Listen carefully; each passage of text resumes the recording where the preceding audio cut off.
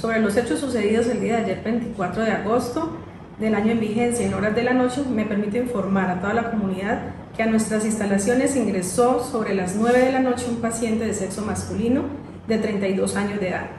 Ingresó al servicio de urgencias por sus propios medios, llegó eh, orientado, alerta en sus tres esferas.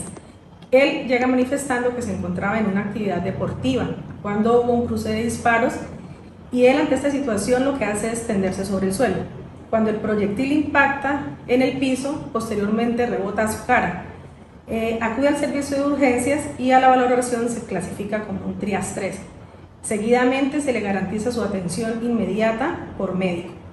El paciente estable llega al servicio con una herida a nivel del mentón. Esta herida eh, de un centímetro aproximadamente eh, fue valorada por el médico, quien manifiesta ingresar al paciente a la sala de procedimientos. Allí se realiza el lavado de la herida, se le toman eh, sus rayos X para descartar alguna fractura ósea o fragmentos de proyectil. Posteriormente se sutura la herida. Al paciente se le da egreso sin presentar ninguna complicación, se le dan recomendaciones médicas, fórmula y se le realiza su sutura, quien sale con sutura y apósitos en su herida.